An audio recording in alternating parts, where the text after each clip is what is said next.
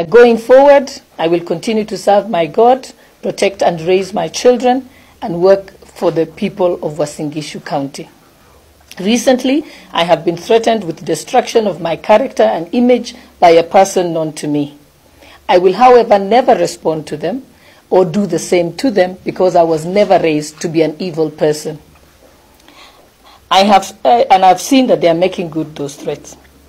Those photographs out there reveal no improper conduct on my part. And I also, in terms of using them to destroy me, I believe that no human being can destroy me unless my God wills it or if they are God, which they are not. No amount of smear campaign will deter me from serving the Kenyans and the great people of Uasin Gishu County. I thank God that I attended the Walking on Fire training, which trains me to stay focused and never look at the fire which can consume me. And therefore, I shall not be consumed. Today, I continued with my work as a legislator.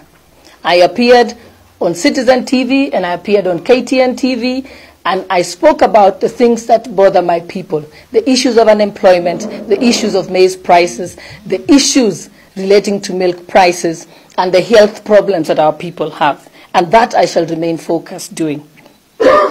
Today, I was, uh, after that, I was in Moiben Center issuing out checks for bursaries, for, for group checks, for economic empowerment programs for women and persons dis with disabilities. I also was in Turbo sub-county today, and thereafter I was at Soy sub-county before I came here this evening. So I shall remain true to what I'm supposed to be doing, and, I, and I'm hoping, I, and you will never hear me comment on this issue ever again, because I do not want it to take my focus from the work that I am be supposed to be doing for my people.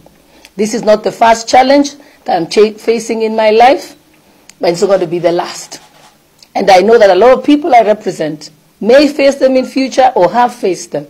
And therefore, I remain undeterred, I remain focused, and God bless you and thank you.